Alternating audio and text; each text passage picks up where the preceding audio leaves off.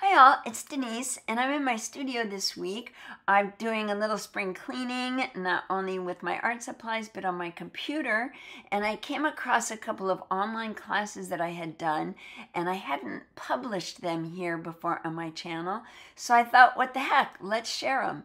So here they are. I am working on one piece in this video and if I can pull them together, I'll add a few more pieces onto my channel in the next weeks. But I think there's some fun techniques in here that you might like. So I'm going to share them with you.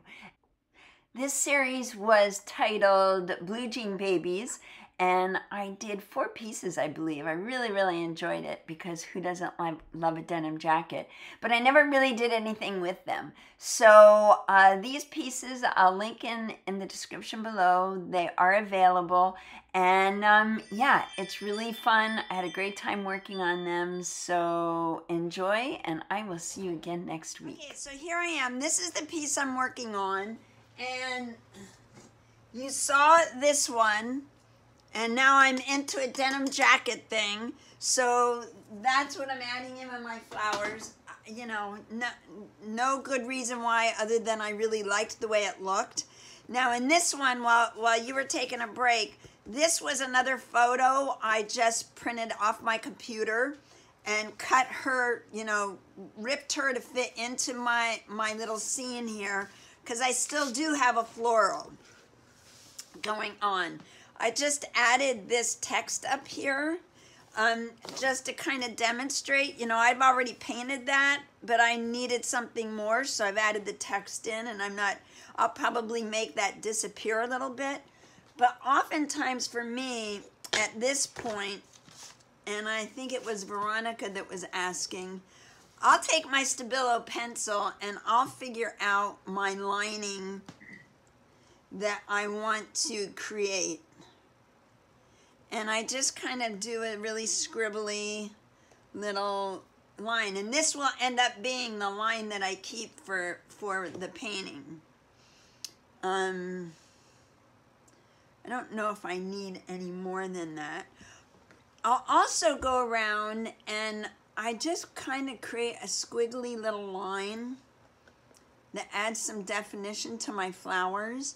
I, I don't mind doing that at this point because I know I'm going to do it sooner or later. That's a, a carnation. So, and I just kind of make it scribbly. I don't get too lost into how it's going to turn out. There's a lot of texture happening under this. Oops. And I twist and turn my pencil as I'm going as it helps me keep it loose. So then I can go in and I don't want a solid dark line all the way around, but this is a good point that I can go in and make some of it go away. I've even started doing it with the polyacrylic because that also wets it and makes it dark. It also makes it permanent. So when I come come back with other paint washes over it, it's not going to come up. But I have to make sure if I want to get rid of some of it, I get rid of it right now because it'll be permanent on there.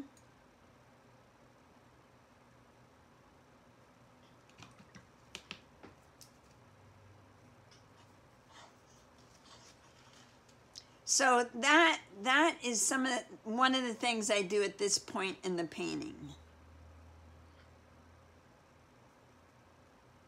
Because it will help me define where I'm going. You know, do I want to make this area a whole different color? Um, and I might.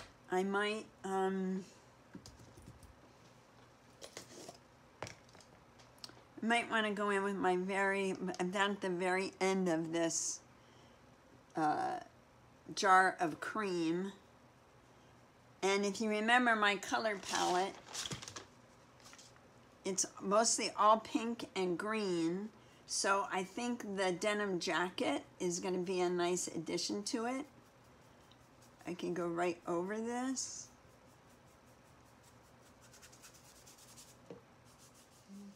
But I'm not sure I like that cream, so I'm going to go back over it with a greenhouse paint and kind of mix in. And I, am catching a glare from my light, so it's kind of hit and miss what I'm doing here, but it's okay because it's just paint. I can come back and I can blend that in a little bit. I can pull my letters out because I'm not sure if I want that lettering there or not, but now I still have the option. Um, what I wanted to show you on this piece, so I will go around, now that I've got areas defined, I can go around and, and paint around those areas. And it helps me, it kind of draws a little diagram of where I'm going to paint. I think I might I might leave this whole side just like it is and not paint anything. And remember last week I did the stencil that once I did the stencil and laid it down, I came back over it.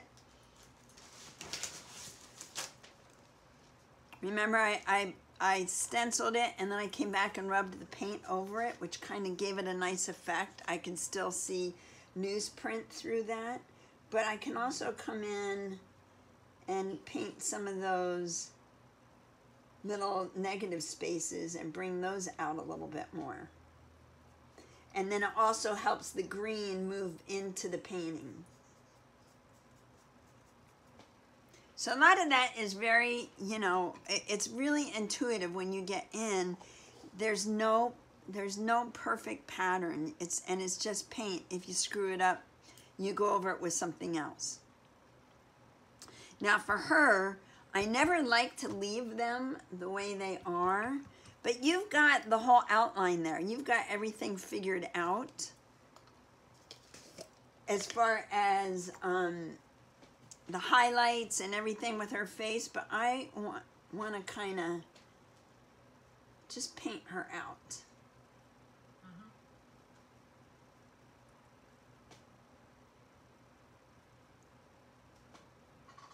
and just get a rough idea of where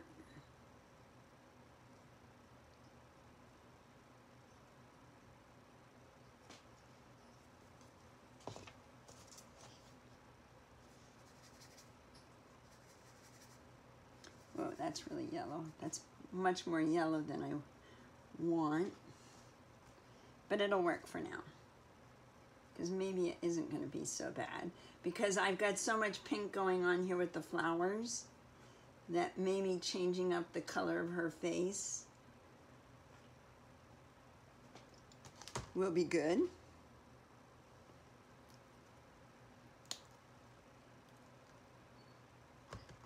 And I'm just using the little golden uh, fluid paints for this.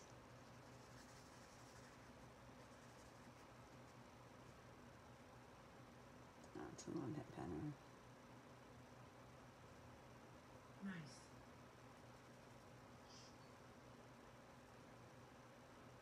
And you just kind of play around with it. I mean, obviously I don't want her eyes that dark. So I'll just kind of go over those and come back later and fill that in. But it's just making it more of, of what you want it to be. So, so it, there's no harm in using a a, a photograph, just go over it and make it what you want it to be. Now, okay, this is an indigo blue, but I want to add this piece of paper in here. Just because I want to add, I, I don't want that to be the only blue thing in here, so it might just be something I just add right there. Can you see that? Am I in the right spot? Spot.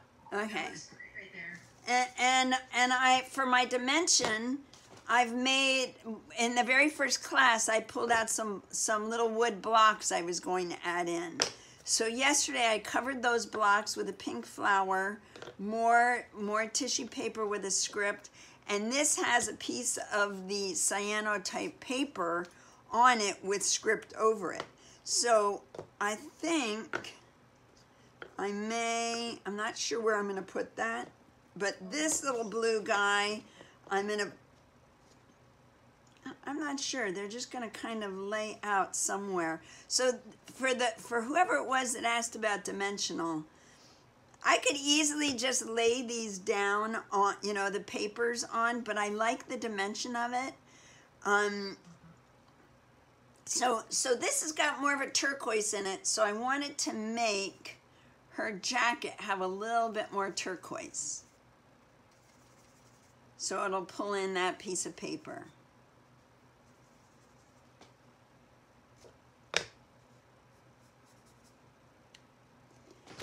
And I'm actually using the uh, polyacrylic as my medium.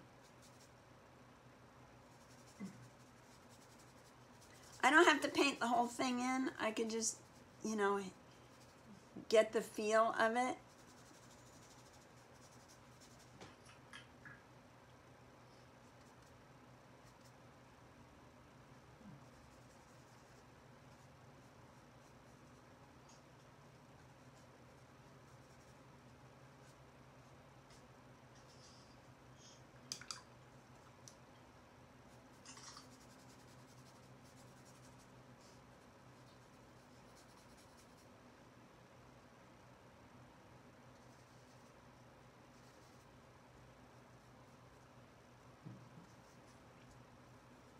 This is actually the fun stuff, I think. The little detail stuff.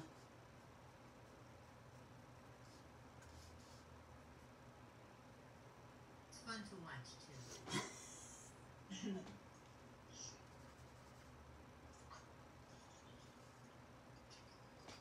Oops, that's kind of dark.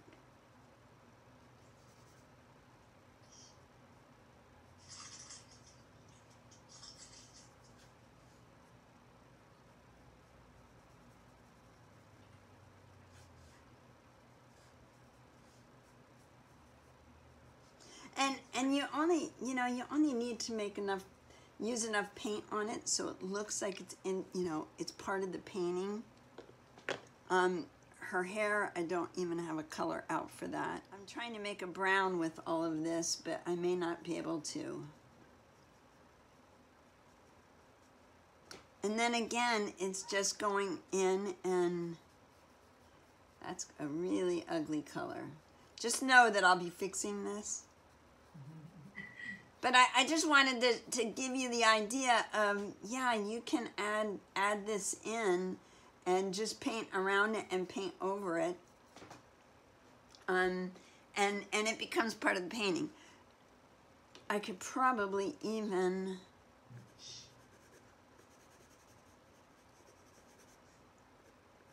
I'm using my Stabilo.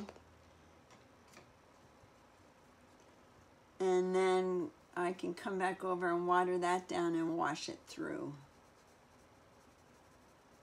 That was kind of fun too. But this girl will end up looking more like this.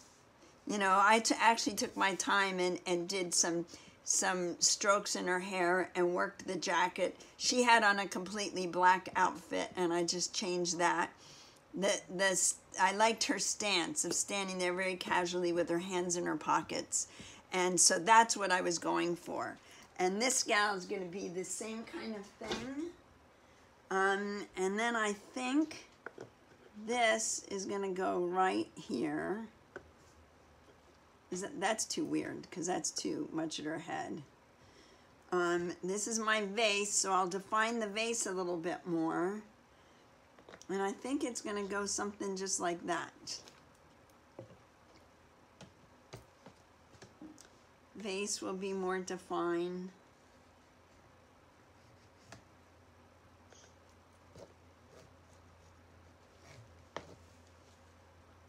And so that, for me, this is the dimensional things that, and that I'm, uh, that I was talking about in the beginning of class, if you want to add those in. So this, this piece still has a long way to go, but I'm am in a good place now where I needed to make decisions on what was happening with it for my focal and where I was going to put these to be able to help me know how to finish this off. I, I usually use E6000, uh-huh. but yeah, it, I can feel it. It's in there, but it's not coming out. So I would also use my caulk. This is an adhesive caulk. And if I wanted to right now, I can just put that right on and that's going to hold it in place really well once it's dry. I, I hope that's where I really wanted that. Because it's there now. Uh, I mean, I could wipe this off, but I think that's a good spot for it. It's kind of right here in this little grouping. Instead of adding it somewhere that pulls your eye somewhere else, it's your eye goes here and you're right in this little group. Then I'll add this over here. I, I don't know. I think maybe, I'm not sure that's going to be blue enough to, to do what I was uh, shooting for, but if not, I can always tear a little piece of this and add a chunk on here.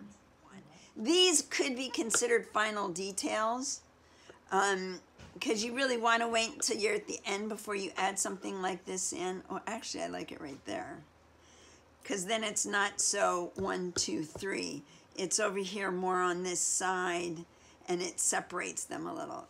So that's what I'm thinking for this one.